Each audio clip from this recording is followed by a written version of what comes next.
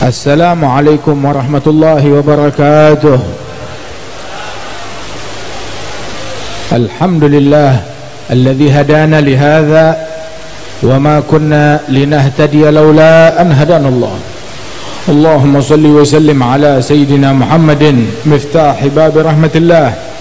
عدد ما في علم الله صلاة وسلاما دائمين بدوام ملك الله وعلى آله وصحبه وموالاه ما بعد. Tawassul dengan mata yang pernah melihat mereka dikabulkan oleh Allah Ta'ala. Hatta kathir minat tabi'in banyak di antara para kaum tabi'in datang berziarah kepada Sayyidina Anas bin Malik sahabat Rasulullah. Anas bin Malik sahabat yang umurnya panjang. Dan beliau Anas bin Malik dapat doa dari Nabi Muhammad sallallahu alaihi wasallam agar dipanjangkan umur kemudian juga diberikan dibanyakkan harta dan anaknya. Diberikan harta yang banyak. Kemudian anak yang banyak keturunan yang berkah. Kemudian juga dipanjangkan umur dan terakhir didoakan masuk surga. Anas bin Malik bilang adapun harta di negeri ini orang paling kaya saya. Kamu lihat. Sampai beliau bilang ketika negeri ini dilanda kemarau semua kebun kekeringan. Saya datang ke kebun saya sholat dua rakaat minta turun hujan langsung turun hujan. Saya suruh pembantu saya pergi. Ini hujan berakhirnya sampai mana? Maka dengan naik kuda dia telusuri itu hujan berakhirnya sampai apa? Batas pagar kebunnya Anas bin Malik. Di luar kebunnya nggak turun hujan cuma buat Anas bin Malik aja. Subhanallah hartanya paling banyak dan keturunannya paling banyak. Dia bilang ketika terjadi wabah penyakit di negeri ini anak-anak yang saya kuburkan dengan tangan saya anak yang saya kuburkan dengan tangan saya itu lebih dari 60 orang. Anak saya yang saya kuburkan dengan tangan saya. Lain cucu lain yang masih hidup. Anak dan cucunya beliau. Demikian banyak. Kemudian minta didoakan oleh Rasulullah agar dipanjangkan umur. Nah kalau umur panjang kamu lihat umur saya panjang sampai saya bosan hidup. Tinggal yang saya lagi tunggu adalah doa yang keempat yang terakhir. Apa? Dimasukkan ke dalam surganya Allah subhanahu wa ta'ala. Masya Allah. Itu dikatakan Nabi Muhammad kalau mendoakan orang doa beliau sampai kepada orang tersebut kepada anaknya kepada cucunya sampai keturunan yang ketujuh sampai nyambung doanya Rasulullah keberkahan doanya Nabi terus sampai keturunan yang ketujuh. Sayyidina Anas bin Malik para tabi'in datang kepada beliau. Ketika datang kepada Sayyidina Anas bin Malik yang mereka lakukan adalah diambil tangannya Anas bin Malik. Kemudian diciumin tangannya Anas bin Malik. Kemudian dia bilang hatan kafatan masata Rasulullah. Ini adalah dua telapak tangan yang dahulu menyentuh Nabi Muhammad sallallahu alaihi wasallam. Terus dicium matanya Anas bin Malik.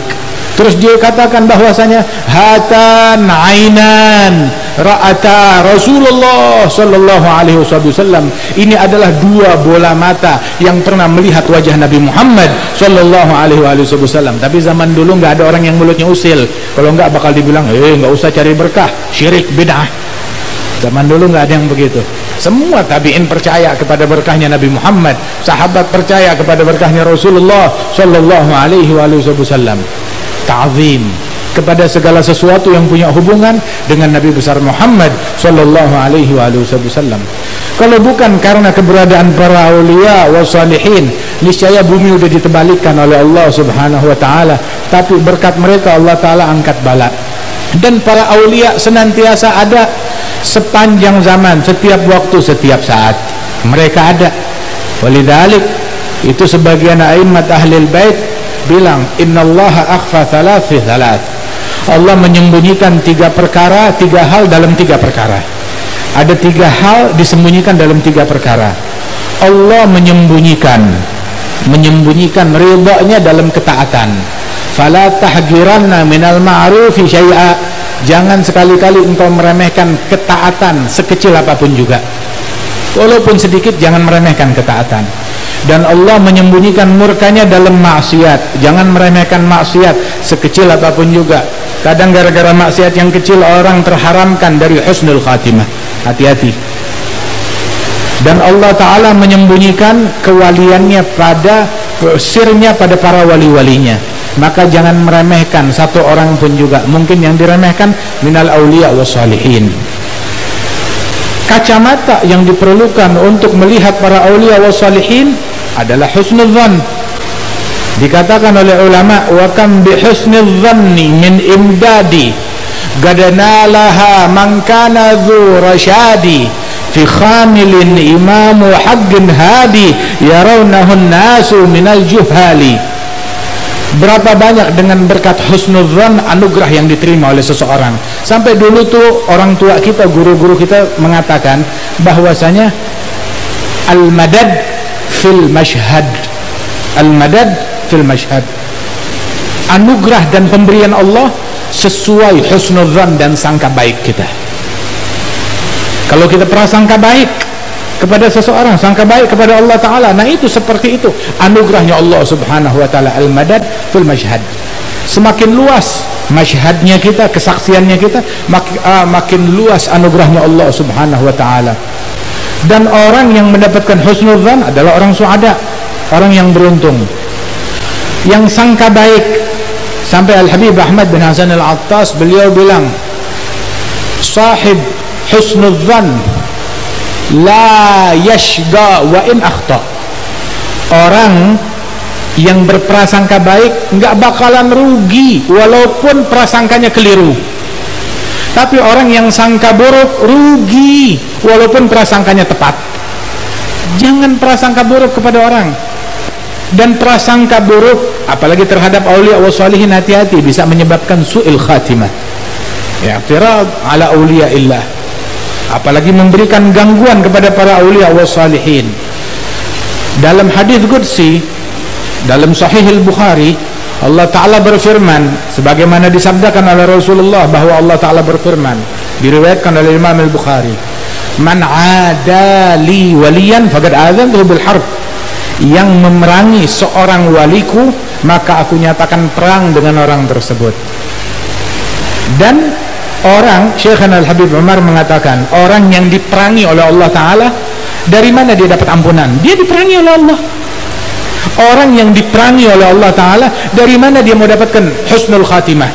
Apabila diperangi oleh Allah Subhanahu Wa Ta'ala. Husnul khatimah nggak didapat melainkan dari Allah. Kalau dia punya masalah dengan Allah diperangi oleh Allah Ta'ala dari mana dia mau dapat itu semua? Ada dua dosa. Yang pelakunya diperangi oleh Allah Ta'ala yang pertama muadatul awliya memusuhi para wali-walinya Allah. Dan yang kedua yang pelakunya diperangi oleh Allah Ta'ala adalah orang yang melakukan praktek riba. Melakukan praktek riba diperangi oleh Allah Subhanahu wa taala. Fa illam tantahu fa'adhanu biharbin minallah wa rasulih kalau kalian tidak berhenti dari praktek riba tersebut maka nyatakan perang dari Allah dan Rasulullah sallallahu alaihi wa alihi wasallam